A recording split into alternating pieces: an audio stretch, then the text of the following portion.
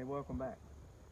In one of my recent videos, I did a uh, uh, some test shooting with a sassafras shooter, and it went to Mr. Man of Kent, and he was telling me there's not any of them in the UK, so got a couple of small ones here at the edge of the yard. Got some a uh, couple of bigger ones back there in the wooded area, but uh, I thought I'd show you these this time of year. The these turn a little red, orange, rust color.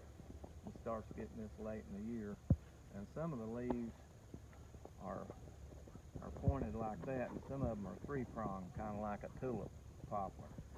And uh, these small stems, you can you can smell them. They're kind of minty, lemony like. You can you can chew on them, smell them, whatever you want. And uh, people, it's not a common thing that I'm aware of now, but uh, people used to uh, uh, take the, the roots and boil them and make sassafras tea.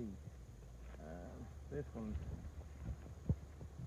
it's not too big, but you see the bark. The smaller one here, bark, first glance looks a little bit like a oak, but as they get bigger, the bark is more pronounced and uh, deeper, and it's a lighter, almost a brown color, different uh, uh, than an oak. Similar texture and pattern, but it's more of a more of a brown. It's not what I would say is a, a softwood, but it's not a not a hardwood like oak or hickory or uh, you know other hardwoods. It's a pretty good firewood because it it it blazes up good, but it's uh, it's not a long-lasting wood. Not a wood you you know want to put in a stove or if you wanted it to last all night long. But uh, I have used it. It's real easy to bud. Uh,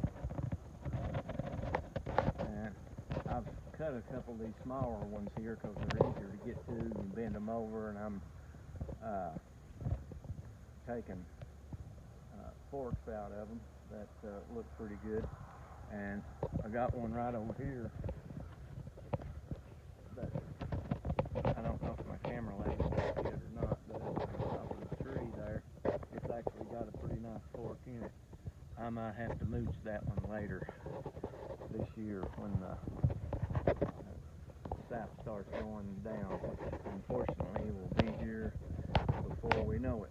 But uh, there they are, little sassafras. Appreciate you stopping by.